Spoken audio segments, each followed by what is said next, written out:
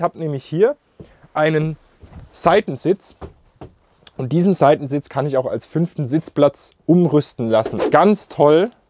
Das ist halt nicht bei jedem Fahrzeug wirklich Standard. Wir haben hier die Klima-Plux-Elemente drin. Hallo und herzlich willkommen zu einem neuen Video hier auf Gümer TV. Ich stehe heute mal wieder vor einem Sunlight. Vergangene Woche haben wir euch den Sunlight T66 gezeigt. Heute den T65, also auch ein unter 7 Meter Fahrzeug. Der ist 6 cm länger, also 6 Meter 96. Aber der hat einige spannende Sachen hier im Grundriss drin. Unter anderem eine sehr gut aufgeteilte Sitzgruppe, getrenntes Bad, also Dusche und Toilette separat und noch ein Hubbett oben drauf. Das heißt für vier Personen Platz da drin.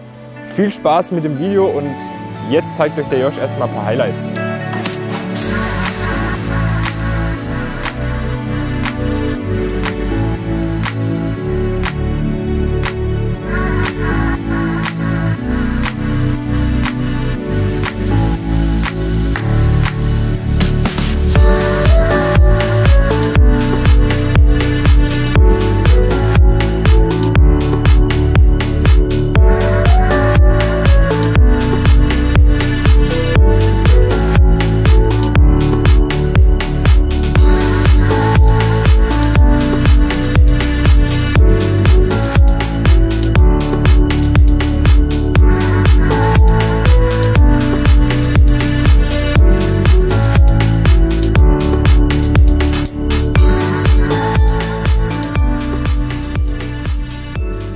Vorab freut es uns natürlich, wenn ihr uns wissen lasst, was ihr vom T65 haltet. Lasst es uns gerne in den Kommentaren wissen und natürlich an der Stelle auch gerne ein Abo dalassen oder vielleicht schon den einen oder anderen Like. Ich hoffe, euch haben die Highlights gefallen. Wir kommen einfach mal kurz zu den technischen Daten. Wir haben hier eine Länge von 6,96 Meter, eine Breite von 2,32 Meter und eine Höhe von 2,19 Meter. Technisch zulässige Gesamtmasse sind die 3,5 Tonnen. Und so wie wir das Fahrzeug hier ausgestattet haben, also man kann es ungefähr sehen, wir gehen das gleich nochmal durch, landen wir bei einer Zuladung von circa 520 Kilo. Also das Fahrzeug ist gut ausgestattet. Ihr seht eine Markise, wir haben hinten dran noch einen Fahrradträger und trotzdem noch 517 Kilo Zuladung ist natürlich gerade für Familien mit vier Personen sehr, sehr entgegenkommend, sage ich jetzt mal. Gehen wir es mal durch. Wir haben jetzt hier noch ein 21er Modell stehen. Was hat sich zum 22er Modell geändert? Eigentlich nicht viel, außer eine neue T-Haube, die meines Erachtens noch wirklich schön aussieht, ein bisschen markanter sehen wir da hinten im T68 Adventure Edition, aber der Josh blendet sie euch einfach mal kurz ein. Und die Preise haben sich erhöht und das nicht wenig, denn wir landen jetzt bei dem 22er Modell ja bei einem Grundpreis von 48.999, also das sind nochmal knappe 4.200 Euro on top. Das wäre rein theoretisch eine Preiserhöhung von 10%. Aber wir haben dafür mehr Serienausstattung drin und es gibt nicht mehr das klassische Chassis-Paket, sondern es gibt nur noch das Basic-Paket. Und das Basic-Paket gibt es dann für 2000 Euro und das Chassis-Paket, was hier 2500 Euro kostet. Und das Basic-Paket von damals, also vom 21er Modell, ja, wird dann praktisch zusammengefasst. Ein Teil ging in die Serienausstattung und ein Teil eben in das neue Basic-Paket. Heißt also, wenn wir das Fahrzeug fahrfertig machen und auch gegebenenfalls ausstatten, dann schlägt diese Preiserhöhung natürlich nicht so zu Buche. Aber trotzdem ist es ein Wort. Ich habe mir an der Stelle auch mal ganz interessant, ich habe mir das Fahrzeug vorher mal durchkonfiguriert und habe es mal wirklich voll ausgestattet mit Automatik, mit 160 PS, mit Chassis-Paket, mit Style-Paket, alle möglichen drum und dran. Da landen wir bei also geht es ab 70.000 Euro los, wenn ihr wirklich eine nahezu Vollausstattung drin habt, könnt ihr bei zwischen 70.000 und 75.000 Euro dann landen. Das mal zur Einordnung ist natürlich trotzdem noch für einen Teilintegrierten, wenn man mal alle Preiserhöhungen betrachtet, wirklich guter Preis und vor allem, was der eigentlich alles kann. Das ist sehr interessant, das schauen wir uns dann aber gleich nochmal von drinnen an. Wir gehen jetzt erstmal ums Fahrzeug herum, so wie wir es immer machen, denn für denjenigen, der vielleicht noch nicht auf unserem Kanal war und noch kein Sunlight gesehen hat, ist es vielleicht trotzdem mal interessant, aufs Außendesign einzugehen.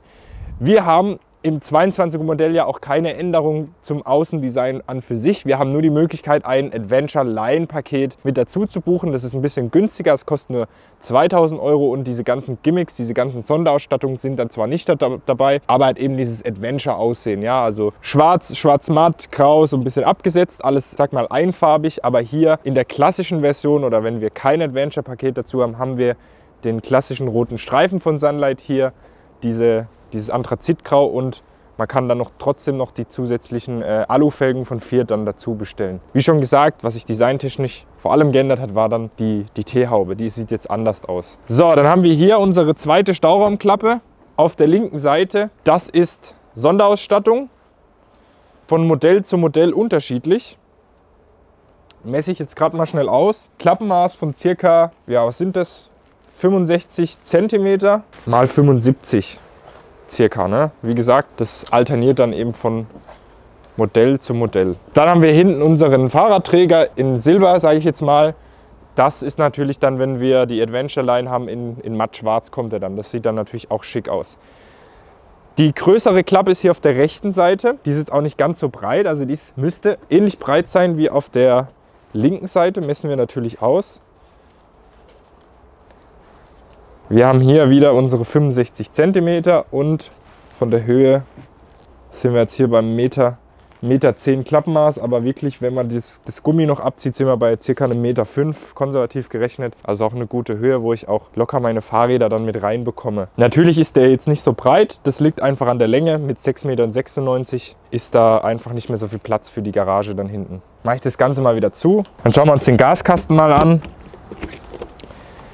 Wir haben jetzt hier 2x11 Kilo Gasflaschen, die schön hintereinander passen. Da ist jetzt ein bisschen Gruß drin, aber ähm, haben auch eine ganz gute Höhe. Also wenn ich die hier hochhebe, kriege ich die da schön hinten rein gesetzt zusätzlich. Gut, Toilettenkassette, da will ich jetzt nicht ins Detail gehen. Das sollte bekannt sein. Und dann haben wir hier schon den Kühlschrank sitzen, aber von der rechten Seite natürlich auch kein anderes Bild. Der Stromanschluss ist jetzt nur hier unüblicherweise auf der vorderen Seite. Aber wir fackeln gar nicht lange rum. Das ist mein, mein Lieblingsversprecher. Wir gehen jetzt einfach mal rein ins Fahrzeug und schauen uns das drin an, denn da wird es natürlich dann wie immer richtig interessant. Fangen wir mal hier in der Sitzbank an. Ihr seht schon, ich stehe hier leicht schräg, denn das ist tatsächlich auch ein großer Kritikpunkt. Wir haben hier unter dem Hubbett, was sich über mir befindet, eine geringe Stehhöhe. Das kommt natürlich auch dadurch zustande, dass wir hier noch eine zusätzliche Stufe haben. Die hat zwar einen Vorteil, nämlich die Stauklappe hier. Da kann man noch mal gut was reinstellen, aber Ansonsten nimmt es mir einfach die nötige Stehhöhe weg. Das heißt, hier zu stehen ist relativ unbequem für, sage ich jetzt mal, große Menschen. Und ich möchte jetzt einfach mal wissen, wie viel Stehhöhe wir tatsächlich hier haben. Ich weiß nicht, ob man es lesen kann. Hier sind wir jetzt bei einem circa 1,98 Meter. Wenn wir dann also, also circa 1,90 Meter sagen wir jetzt mal, wenn wir dann also hier noch die 10 cm wegnehmen, dann haben wir hier nur 1,80 Meter Stehhöhe und das ist natürlich relativ gering. Wohingegen, wenn ich dann hier stehe unten, dann geht es gerade noch so mit 1,90 Meter und vorne haben wir dann nochmal deutlich mehr. Ja? Also hier oben, da sind nochmal locker 20 bis 30 cm Platz, da haben wir dann mehr. Das ist halt eben, wie schon gesagt, ein großer Kritikpunkt am Sunlight, aber trotzdem die Sitzgruppe hat auch Vorteile, denn sie ist für die Größe des Fahrzeugs sehr großzügig. Ja? Ich habe nämlich hier einen Seitensitz, und diesen Seitensitz kann ich auch als fünften Sitzplatz umrüsten lassen. Also praktisch in diese Richtung gegen die Fahrtrichtung kann dann noch jemand sitzen. Somit kann ich hier einen fünften Sitzplatz draus machen, kann fünf Personen mitnehmen. Wenn ich dann noch den Bettumbau habe in der Sitzgruppe, kann ich, wenn eine kleinere Person mitfährt, da halt wirklich mit fünf Personen in Urlaub fahren. Und das für ein 7 Meter Fahrzeug ist wirklich außergewöhnlich, sage ich jetzt mal. Ja. Die Sitzgruppe hier, setze ich mich mal rein. Finde ich bei Sunlight immer gut. Wir haben, ich habe es beim T66 schon erwähnt, immer eine gute Sitztiefe bei den Sunlight-Fahrzeugen. Es ist relativ geräumig, also wie gesagt, für die Größe zu sprechen aufs Fahrzeug. Und klar, der Tisch ist jetzt hier in Anführungszeichen nur eingehängt. Wir haben unten hier noch eine Steckdose, falls jemand interessiert. Der Vorteil ist auf der einen Seite, ich kann den Tisch rausnehmen, kann den einfach woanders hinstellen, wenn ich ein bisschen den Freiraum haben möchte. Der Nachteil ist natürlich, ist ein bisschen klapprig, sage ich jetzt mal. Ne? Aber wie schon gesagt, wir sind hier in der Einsteigerklasse. Polster haben wir hier Maui Beach. Ihr seht natürlich von den, vom Dekor ist bei Sunlight hat sich da auch nichts geändert. Hier in dem Graphit-Look sozusagen. Und wenn ich das Adventure Line Paket dazu nehme, dann kommt auch das, die Wohnwelt Adventure sozusagen. Ja. Der Unterschied zu Maui Beach ist einfach, dass wir hier so eine dunklere Kunstlederoptik haben oder ein dunkleres Kunstleder hier mit weiß abgesetzt und dann hier nochmal zusätzlich so ein Stoff das ist Serie, was man noch auswählen kann, wäre der Stoff Macadamia. Das wäre dann so ein karierter Stoff zusätzlich. Zum Fahrerhaus, den Fiat, den kennen wir jetzt schon. Da ist jetzt noch der 7er Ducato drin. Da kommt natürlich dann auch mit dem 8er. Wir haben hier zusätzlich nochmal relativ viel Platz T-Haubenfenster ist auch mit dabei, das heißt, da kommt viel Licht rein und dann hier vorne Ganz klassisch unsere Ablagefläche. Der Vorhang hier, das ist beim Modelljahr 22 auch neu. Der ist optional, also man kann optional eine Faltverdunklung dazu wählen und das wäre dann sozusagen der Serienzustand. Also haben sich viele darüber beschwert. Sunlight hat es umgesetzt und jetzt eben auch mit Faltverdunklung. So, was ich natürlich eingangs erwähnt hatte, der große Vorteil von dem Fahrzeug, es hat ein Hubbett. Das machen wir jetzt einfach mal runter. Relativ simple Methode und ganz toll, das ist halt nicht bei jedem Fahrzeug wirklich Standard. Wir haben hier die Klima-Plux-Elemente drin. Also nochmal das Zusatz an Schlafkomfort, die Matratzendicke, ja, ist jetzt nicht so dick, aber wie gesagt, für ein Hubbett ist das in der Branche nochmal ein, ein sehr großer Pluspunkt. Denn selbst Hersteller, die über Sunlight liegen, haben da beispielsweise gar nichts drin liegen oder halt nur so eine Schaummatte, sage ich jetzt mal. Die Leiter dazu setze ich noch eingeklemmt. Die Maße davon, die findet ihr in den technischen Daten, aber hat auf jeden Fall Platz für zwei Personen. Und da könnt ihr schon gut drin schlafen, sage ich jetzt mal. Kommt natürlich immer auf, den, auf das Individuum an, wie das dann von jeder Person zu Person dann unterschiedlich ist. Wir haben jetzt hier eine L-Küche. Die ist relativ groß, sage ich jetzt mal, also in Anführungszeichen wieder gesetzt, wenn man sich die Gesamtgröße vom Fahrzeug betrachtet. Bei Sunlight, was sie immer gut machen, wir haben hinten schön Ablagefläche, das heißt, da können wir noch gut was hinstellen. Ich sage immer das Stichwort Kaffeemaschine. Und dann haben wir hier noch unsere beleuchtete Küchenrückwand. Ja, ansonsten haben wir ganz klassisch unser Waschbecken und unseren Dreiflammkocher bei Sunlight, auch serienmäßig mit dem Gusseisen. Gefällt mir wirklich gut, also es macht was her, ja, und das ist auch ein bisschen robuster und es ist ein Teil, ja, also wenn ich jetzt hier was rausnehme, dann haben wir ein stabiles Teil, das ich auch mal bisschen beanspruchen kann. Vom Stauraum her haben wir hier mehrere Klappen natürlich, die gewölbten. Da passt auch gut was rein. Es sind relativ einfache Verschlüsse. Wie gesagt, wir sind ja im, im Einsteigersegment. Hier auch in der Küche. Es wird natürlich alles entsprechend ausgenutzt.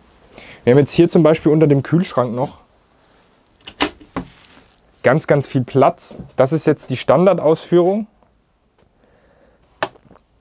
Es gibt den Kühlschrank dann aber auch noch in groß mit 142 Liter, ist optional. Und dann kann ich da auch eine Back, einen Backofen noch mit dazu machen, oben in den Tower dann rein. Und falls ihr euch gefragt habt, wo der Fernseher dann ist, das wäre dann beispielsweise hier ein Platz zum Rausziehen Gibt es dann bei Sunlight auch nochmal optional, beziehungsweise beim Händler vor Ort dann. So viel zur Küche. Kommen wir mal ins Bad. Ich laufe gerade schnell an euch vorbei. Denn das ist auch eine Besonderheit beim T65. Wir haben eine separate Dusche und eine separate Toilette. Und ich kann das Ganze dann hier zu einem kompletten Badraum abschließen. Ja, und der, also für ein 6,96 Meter Fahrzeug ist der Grundriss dann schon doch nochmal etwas außergewöhnlich. Hier oben haben wir jetzt zum Beispiel auch einen großen Schrank.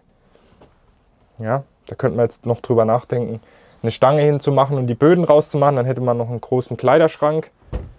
Das wäre individuell auf jeden Fall möglich. Und dann hier eben unsere größere Dusche. So, ich gucke jetzt gleich mal. Ich mache jetzt hier das Brettchen mal raus und zeige euch mal, wie viel Platz ich hier drin habe. Denn auf der einen Seite, und das muss man wirklich Sunlight zugute halten, habe ich eine tolle Stehhöhe. Und durch die Form des Bades, ja, das geht ein bisschen nach hinten, kann ich hier auch wirklich gut.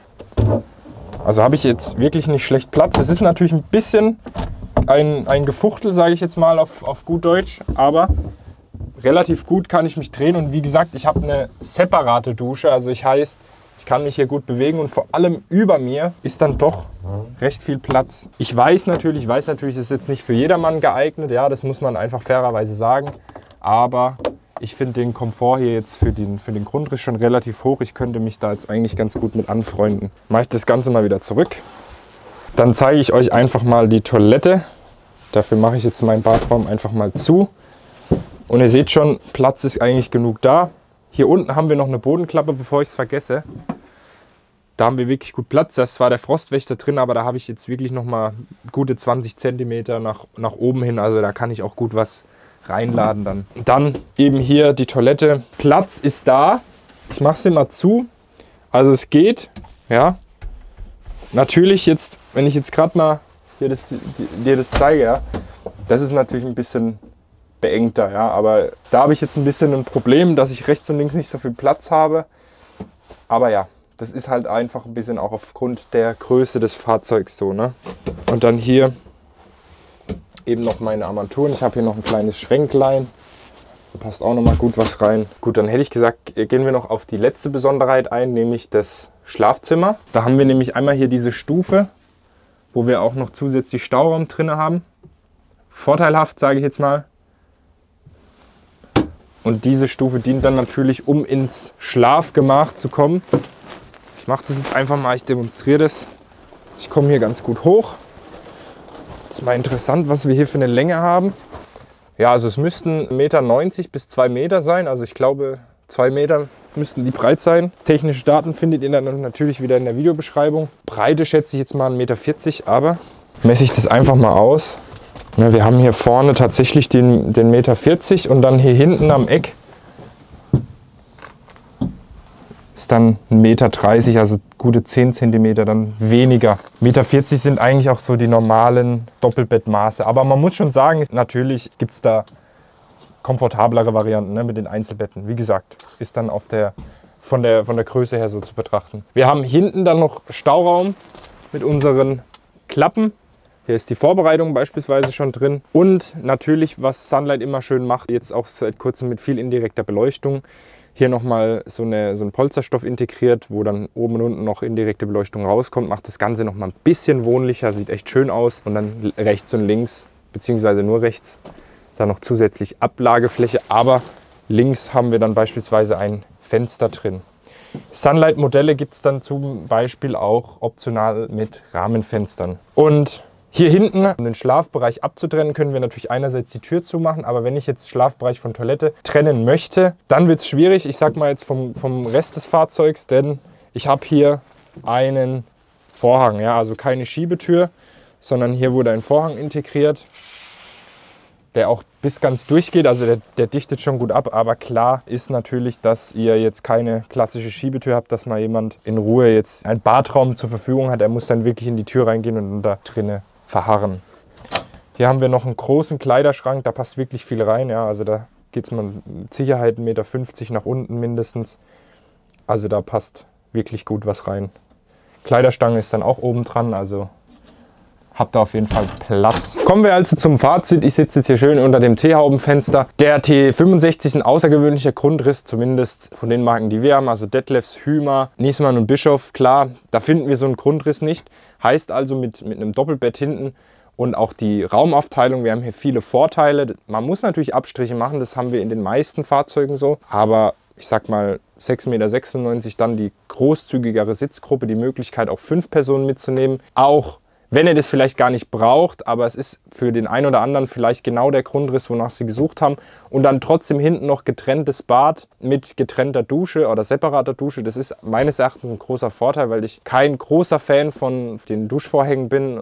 Das Kombibad macht auch seinen Zweck, spart dafür aber auch so ein bisschen Platz dann noch zusätzlich. Je nachdem, wie man Bad und Toilette kombiniert dann benutzen möchte. Vom Preis her, es hat sich natürlich viel geändert durch die Preiserhöhung aufs 22er Modelljahr. Das kann man nicht wegschweigen. Wenn ihr das Fahrzeug aber gut ausstattet, weil von der Sonderausstattung ist es größtenteils gleich geblieben, dann relativiert sich das auch wieder.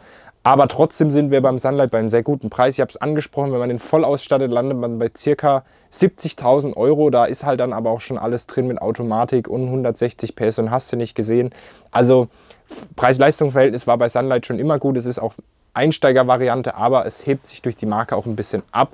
Denn trotzdem finde ich, das dürft ihr uns natürlich dann auch gerne nochmal in den Kommentaren wissen lassen, ist auch designtechnisch gut was geboten. Man hat so das Nötigste drin, also auch ein bisschen indirekte Beleuchtung, auch Wohnlichkeit.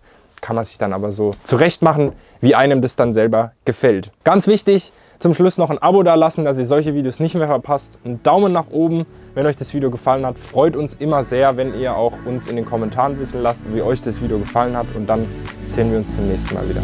Tschüssi!